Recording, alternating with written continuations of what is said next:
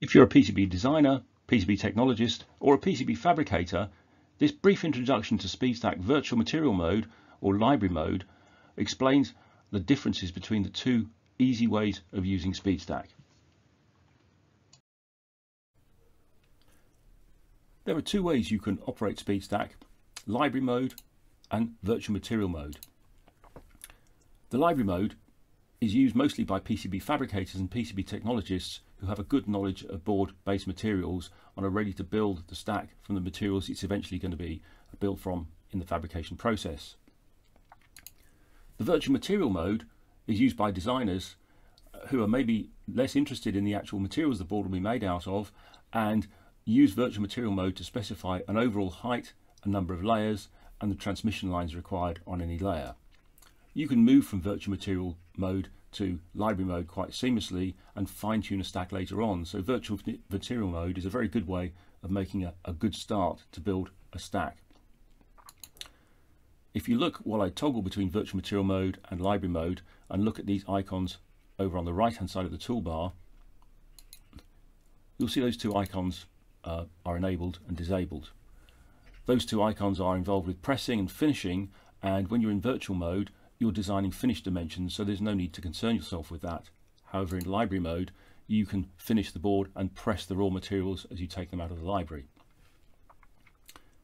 The other thing to note is that when you change between library mode and virtual mode, the stack wizard changes its behavior. So in library mode, we have a stack that lets you draw in materials from the library.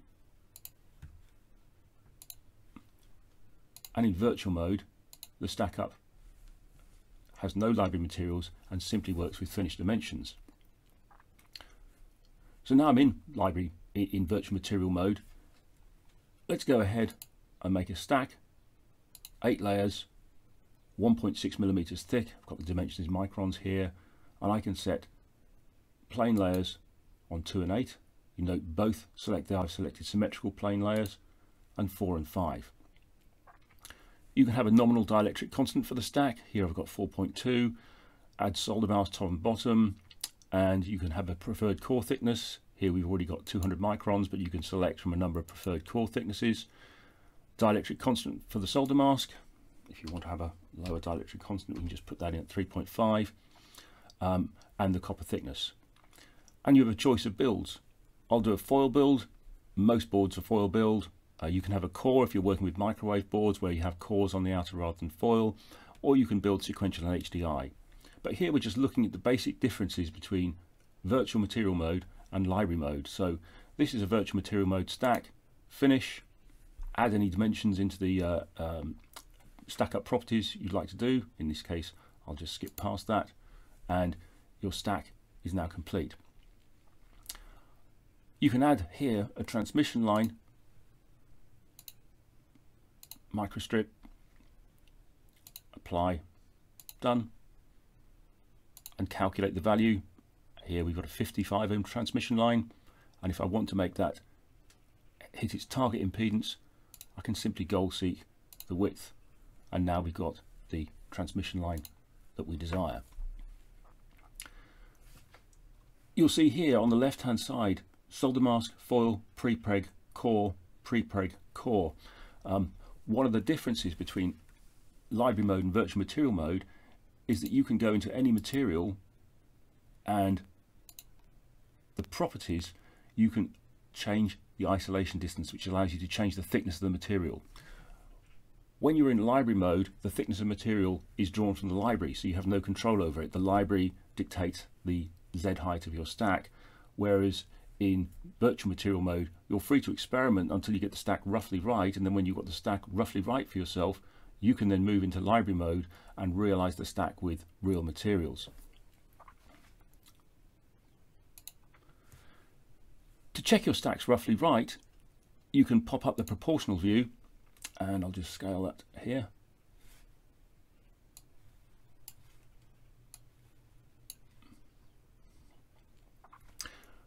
So in proportional view, you can see the foil outers, the cores, and you can see that they're all equally spaced in this automatically generated stack. As an example, I can go into the material properties here and I'll just make this to make it obvious 10 times as big as it should be um, let me just rebuild the stack here look at proportional view and now it's very very clear to see in proportional view that I've altered the size of this and it's a very good way of checking for any uh, gross errors that you might have made. And if I turn this, the, the ruler on here I can see that oh yeah I had 1800 microns instead of um, instead of a distance of uh, 180 microns. So close go back. Properties. And correct that. Apply so I've added a transmission line it's 50 ohms we're now ready to print a technical report and send that technical report to the fabricator for the fabricator to add real materials. So that's virtual material mode. You've got full control over the Z height. You can experiment. You can experiment with a number of layers and you can make a stack which will fit in your particular application, but it doesn't have any real materials in it. Let's switch now into um, library mode and make an empty stack up. Just cancel that. Okay. In library mode, starting the wizard, again it's very similar. We can make our eight layer board, foil build, but now we bring solder mask in from the library, bring a foil, okay so last time we had a 35 micron foil so we can select a 35 micron foil. And a core. Last time we had a 200 micron core so I'll bring in a generic 200 micron core. And pre-preg well okay let's just slip in two sheets of 1080 just to, for, for demonstration purposes. I'll put plane layers again symmetrically on 2, 4, 5 and 8 I can also add a drill um, and a non-plated drill. Apply okay and here's the stack up. Looking at the stack up I get my electrical layer count cost copper thickness dielectric target stack up thickness and overall stack up thickness. And here I can see it's a bit thin.